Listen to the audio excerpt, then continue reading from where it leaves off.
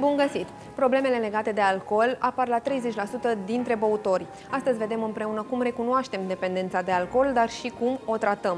Există câteva semne care ar trebui să ne pună pe gânduri când vine vorba de un pahar sau două de vin. Psihiatrul Dan Roșca ne spune imediat și cum se manifestă sevrajul. Domnule doctor, până la urmă cu toții bem uh, un pahar de vin sau un pahar de șampanie când sărbătorim ceva sau când ajungem acasă după o zi grea, însă totuși cum facem diferența între alcoolism și consumul de alcool? Consumul social de alcool este cel despre care vorbeați dumneavoastră, acest băut de pahar de vin din când în când, la ocazii. Uh, dependența de alcool înseamnă un consum de obicei zilnic, de obicei în cantități progresiv crescătoare, pentru că omului, omului nu mai ajunge un pahar, îi trebuie 2, 3, 4, 5, crește toleranța la alcool și un consum din care, dacă vrei să te oprești, ă, te oprești cu prețul unui sevraj la alcool. Adică, tu vrei să nu mai consumi de astăzi, dar încep să stremure mâinile. Da, care ar fi simptomele, deci? Astea sunt simptomele. Îți tremură mâinile, transpiri, te simți rău fizic, o stare de rău general, uh, rău psihic, ești morocănos, anxios, noi numim starea asta disforie. Lucrurile astea trec dacă bei un pahar de ceva.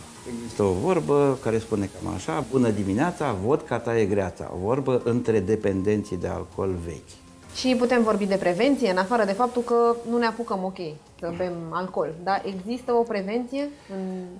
Da, prevenția înseamnă nedepășirea unor cantități mari pe zi. Asta e o prevenție generală. Mari însemnând că noi am putea bea pe zi, deși băutul zilnic este contraindicat, să zicem ceva 30 de grame de tărie, 20 de grame de tărie, un pahar de vin.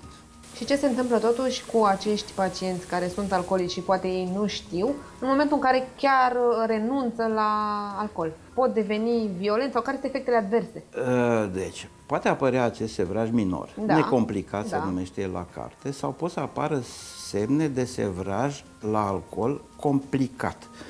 Se poate complica, de exemplu, sevrajul cu o criză comițială, spunem noi, o criză ca de epilepsie. Asta înseamnă că omul își pierde conștiința conștiința cade la pământ, se zvârcolește, da, așa, eu, da, da, da, pentru da. cel care n-a văzut niciodată, e un eveniment e un șocant. șocant. Există un al doilea tip de, de eveniment uh, major din, în cadrul sevrajului la alcool, delirium, numit delirium tremens. Deci tremură, că de-aia e tremens, iar delirium înseamnă sindrom confuzional, stare confuzională. Nu știe unde e, dezorientat, nu știe dacă, dacă e noapte. Uh, exemplu tipic dat din experiența mea proprie ca medic, nu ca alcoolic, Așa este pacientul care își caută calul prin salon, poate să aibă și halucinații, uneori terifiante, animale care vin din toate părțile, care se repe să-l muște, să-l atace. Din cauza faptului că nu știe unde se află și se simte în primește, din cauza faptului că atacă tot soiul de vedenii, aude voci uneori, așa poate deveni agitat și agresiv. E o deci reacție, ajunge și la violență. E o reacție de apărare. Da, normal. Și până la urmă, cum ne vindecăm? Ca să ne vindecăm, trebuie să știm că suntem bolnavi. Da, să ne gândim că ne-am dat seama de această problemă. Pentru oamenii care au totuși o, o conștiință de sine mai dezvoltată, e greu să accepte pentru că e o știrbire a imaginii de sine. Da. Eu alcoolic? Da. Nu se poate, domnule, eu sunt profesor universitar sunt uh, colonelul cu tare, sunt nu știu cine. Am văzut, am pacienți din orice pătură socială. Imaginez, da. Și deci, în afară de tratamentul de specialitate, când mergem la un specialist într-un uh, spital, putem să ne vindecăm și acasă? Putem face ceva? De obicei, oamenii nu prea reușesc să facă asta în absența specialistului. Pentru că se dezvoltă cu timpul ceea ce se numește craving, o poftă, o poftă fabuloasă de a bea. Asta e dependența psihologică de, uh, de substanță și de actul în sine. Ah, de efectiv Senzația de a bea. Uh, paharul la gură, uh, da. Locul în care stau și îmi beau, îmi lincă paharul meu cu șapte țigări și la cârciumă și mă uit la lume. În afară de asta apare uh, ce spuneam mai devreme, simptomele care apar când omul întrerupe consumul, este foarte rău și atunci acasă trebuie ce să meargă să da, bea ceva. e clar mergi să bei ceva. Problema e că lucrurile nu trebuie stopate la faza de spital.